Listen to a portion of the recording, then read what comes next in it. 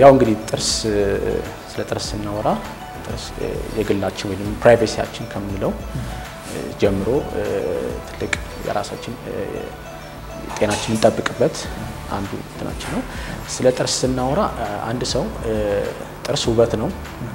ጥርስ ለንግግር የሚጠቅመን ፓርታችን ነው። እንደገና ደግሞ ጥርስ ደግሞ የአንድ ሰው ማንነቱ መገለጫ ነው።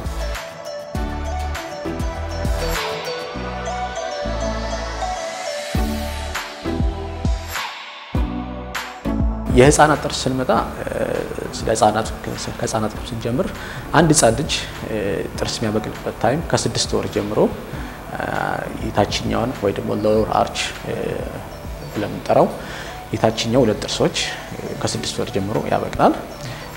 እንግዲህ ቋሚ ጥርስ እስኪኖረው ድረስ አንድ ህፃን ልጅ ወይ ደግሞ ከስድስት ወር ጀምሮ እስከ 11 ዓመት ድረስ ያለ ልጅ አጠቃላይ 20 ጥርሶች ወይ ደግሞ የጊዜያዊ ጥርስ ወይ ደግሞ የልጅነት ጥርስ ይኖራል። የአዋቂ ጥርስ ደግሞ ጠቅላላ 32 ጥርሶች ናቸው ይኖሩት ማለት ነው።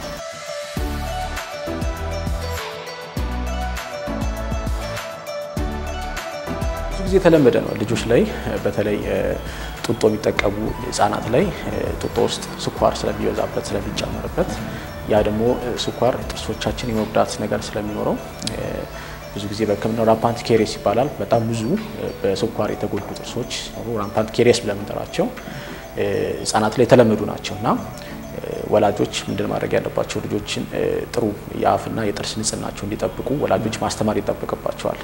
ያን ካላደረጉ ልጆች በራሳቸው ያን ማድረግ ስለማይችሉ ማለት ነው። ስለዚህ በዚህ ምክንያት ብዙ ጊዜ የልጆች ጥርስ የመበላት የመሸራረፍ ነገር ይኖራል። ያለ እድሜውም ደግሞ ወይ ደግሞ ያለ ጊዜው ቶሎ ተበልቶ የማለቅ ወይ ደግሞ ያለ ጊዜው ትክክለኛ እድገቱን ሳይጨርስ በራሱ ጊዜ ተሸራርፎ ተበልቶ የማለቅ ነገር ይኖራል። so የህፃናት ጥርስ ትልቅ እንክብካቤ የሚፈልግ ጥርስ ነው። so ከስድስት ወር ጀምሮ የህፃናትን ጥርስ መንከባከብ አለብን።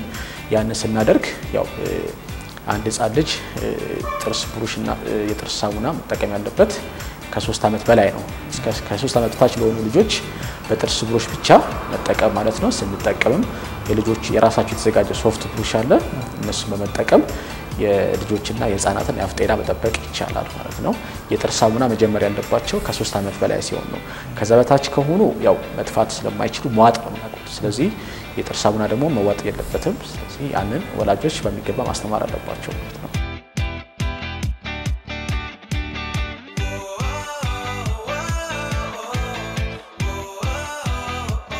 እንግዲህ አሁን ላይ በብዙ በተለያየ ሚዲያዎች ከቅርብ ጊዜ ወዲህ ስለ ጥርስ ሕክምና ስለ አፍ ጤና አጠባበቅ ብዙ እየተባለ ነው።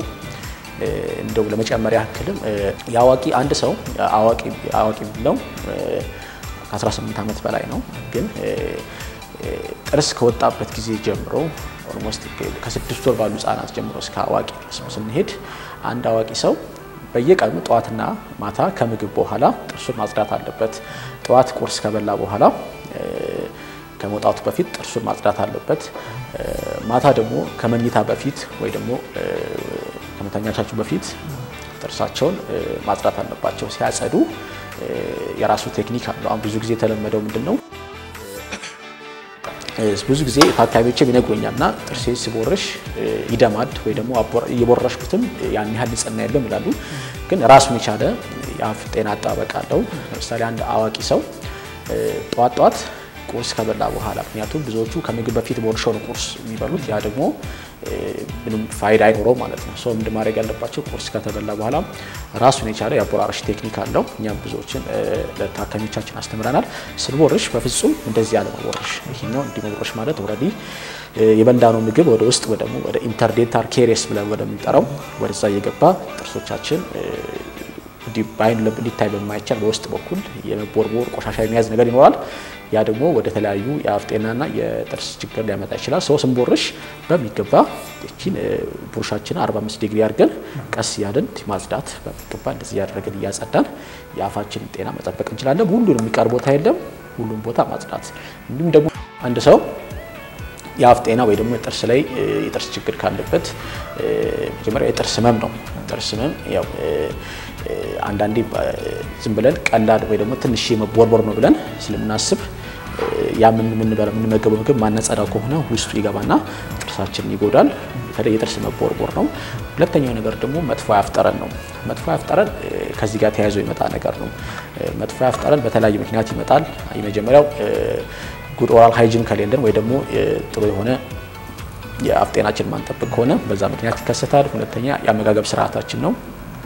በሶስተኛ ደረጃ ደግሞ ከጥርስ ውጭ ደግሞ ለምሳሌ systemic ያለ በሽታ ካለ ለምሳሌ ጨጓራ በሽታ፣ የሳምባ በሽታ እንዲሁም ደግሞ የኩላሊት በሽታ ካለ እንዲህ የአፍ ጠረን የመምጣት ነገር ይኖራል። እነዚህ common የምንላቸው ወይ ደግሞ በተለምዶ በተደጋጋሚ የሚታዩ እንትኖች ናቸው። ስለዚህ የአፍ የጥርስ መቦርቦር ወይ ደግሞ dental caries ብለን የምንጠራቸው ይሄ ነገር ሲፈጠር ቶሎ ወደ ጥርስ ሐኪም በመሄድ የጥርስ ሐኪሙን በማማከር ተገቢውን ሕክምናና ክትትል በማድረግ ታክሞ መዳን ይቻላል ማለት ነው። እንደሚባለው በአመት ሁለት ጊዜ በየስድስት ወሩ ወደ ጥርስ ሐኪም በመሄድ ተገቢውን ክትትል በማድረግ የጥርሳችን የአፋችን ጤና መጠበቅ እንችላለን ማለት ነው።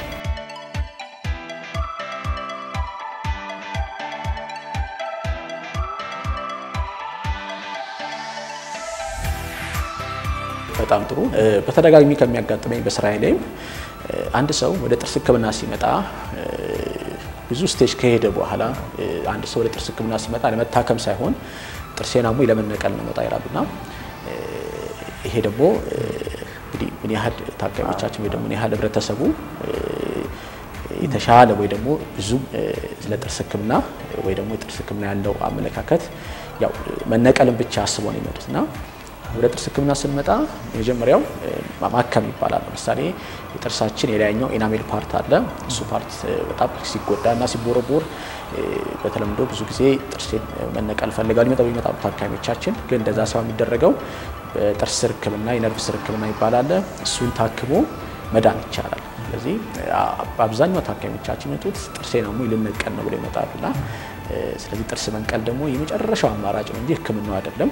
የተለያዩ ህክምናዎች አሉት ከሙሌት ጀምሮ እንደገና ከስር ከጥርስ ነርቭ ስር ህክምና ብዙ አይነት ህክምናዎች አሉ። እነሱን በመታከም ጥርስ አንድን ጥርስ አኮ ይቻላል። ስለዚህ በዋናነት እኔ ጋር ብዙ ጊዜ ከማያቸው ታካሚዎቼ የመጀመሪያው ጥርሴን በጣም አሞኛል፣ ይጠዘጥዘኛል፣ ያው ያመኛል ነገር። ሁለተኛው ነገር ደግሞ መጥፎ አለኝ ይላሉና ሰው እነዚህ ነገሮች ቀድሞ ቢከላከሉና አስቀድመው ወደ ጥርስ ሐኪም ሄደው ቢያማክሩ እነዚህ ነገሮች በጊዜ የከፋ ደረጃ ሳይደርስ በፊት መታከም ይችላል ማለት ነው።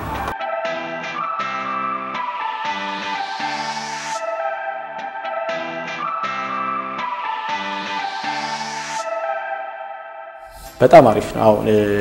አሁን እንዳልከኝ ብዙ ታካሚዎች ይመጣሉ። በተለይ ስለ ድድ ህመም ወይ ደግሞ ከጥርስ ውጪ ስለ አፍና ስለ ድድ ታካሚዎች ሲመጡ አንዳንድ የማይፈቀዱ ወይ ደግሞ የበለጠ በሽታውን የሚያባብሱ ነገሮች ይኖራሉ። ከእነሱ መካከል በተለይ በተለምዶ አንድ ሰው ሎሚ በጣም እጠቀማለሁ፣ በሎሚ በሎሚ ጭራሽ ቦርሸዋለሁ፣ በሎሚ በብሩሽ እያደረኩ እጠቀማለሁ። ይሄ በጣም አደገኛና የማይመከር ነው። ምክንያቱም የሎሚው ሎሚ ውስጥ ያለው አሲድ አፋችን ውስጥ ያሉትን ባክቴሪያዎች effectively መከላከል አይችልም።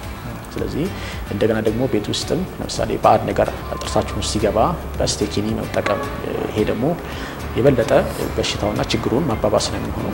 እንዲህ በሚሆንበት ሰዓት ላይ ቤት ውስጥ እንዴት ራስ የጥርሳችን ንጽህናና ጤና መጠበቅ አለብን የሚችለው የሚባለው ጥያቄ በመጀመሪያ ደረጃ ቅድም እንደነገርኩ ጠዋትና ማታ ማጽዳት በብሩሽና በጥርስ ሳሙና ያን መጠቀም፣ የጥርስ ብሩሻችንን በየሶስት ወሩ መቀየር።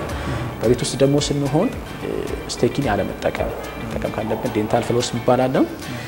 በየፋርማሲው በየመድኃኒት እናገኘዋለን። እሱን በመጠቀም ማጽዳት እንችላለን። ጥርሶቻችን ውስጥ የገባ ባዕድ ነገር በዛ ማውጣት እንችላለን።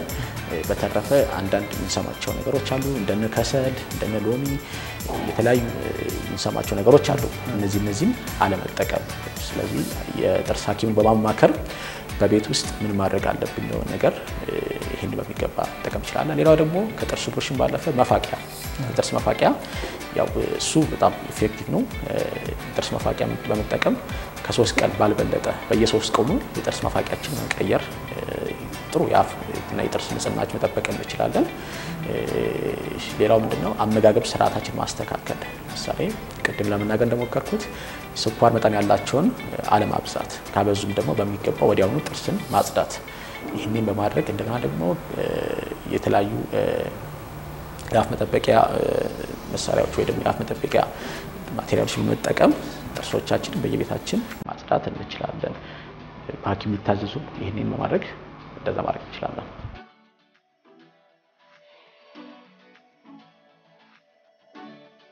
እንግዲህ የተቦረቦረ ጥርስ ሁሉ የታመመ ጥርስ ሁሉ አይነቀልም። ራሱን የቻለ ሕክምና አለው። ያ ሕክምና እንግዲህ ቅድም እንደነገርኩ ከሙሌት ጀምሮ እስከ የጥርስ ስር ነርቭስ ሕክምና ይባላል። እነሱን በማድረግ ለምሳሌ አንድ የታመመ ጥርስ በጣም የተጎዳ ጥርስ ይመጣል። ይህን ጥርስ የሚነቀል ነው አይደለም የሚለውን ነገር ያው የጥርስ ሐኪሙ ነው የሚወስነው። ያው እንደሚሆንበት ምክንያት በተለያዩ ምርመራዎች በራጅ ምርመራ በተለያየ ምርመራ እሱን check በማድረግ ያንን ጥርስ ጥርሶቻችን ሳይነቀሉ ታከው መዳን የሚችል ስለዚህ ከሙሌት ጀምሮ ለምሳሌ stage አላቸው። እነዛን stage ኦች ሐኪሙ ያውቋል።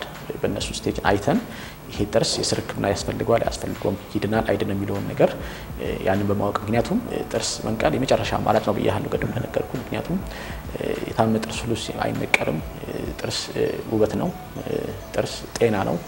ስለዚህ ጥርስ ደግሞ ሀብታችን ነው አይደል? ስለዚህ ያንን ወደ ወደኛ ሕክምና ተቋም ሲመጡ የጥርሳችንን ጤና ታከው መዳን ይችላል። የጥርስ ነርቭ ሕክምና ጥርሶቻችን ለምሳሌ ይሄ ጥርሳችን ከሆነ የጥርስ ነርቭ ሕክምና ሲባል እንደምታዩት ጥርሶቻችን ስር አላቸው ሲል እንደሚታየው። ስለዚህ እዚህ ውስጥ ነው እንግዲህ በስር ሕክምና የሚባለው በዚህ ውስጥ ተገብቶ እዚህ ውስጥ ያሉትን ኢንፌክሽኑን ማጥፋት ማለት ነው።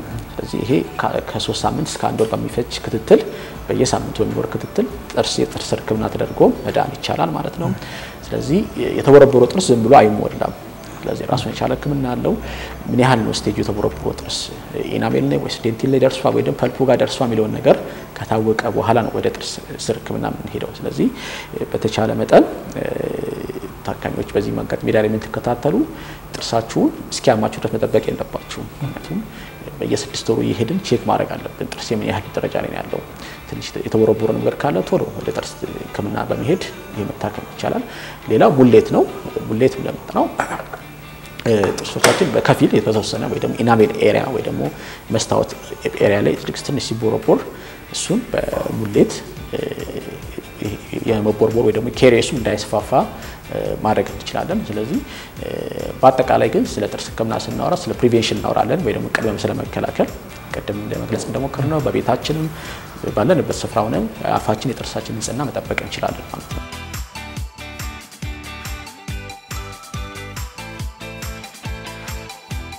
እሺ ሌላው ማስተላለፍ ፈልገው ነገር ቢኖር ያው አንድ ሰው ምናልባትም በንግግሮች መሀል ለማናገር ሞክር ያለው በየስድስት ወሩ ወይ ደግሞ በአመት ሁለት ጊዜ ወደ ጥርስ ህክምና ሄደው check ማድረግ አለባቸው። ካልቻለ ደግሞ በቤታቸው ውስጥ የአፍና የጥርሳቸው ንጽህና መጠበቅ ይቻላል። ስለዚህ ይህን በማድረግ እንደገና ደግሞ ጥርሶቻችንን ጠዋትና ማታ ከምግብ በኋላ በሚገባ ከሶስት እስከ አምስት ደቂቃ ድረስ በሚሆን ማጽዳት ይኖርብናል።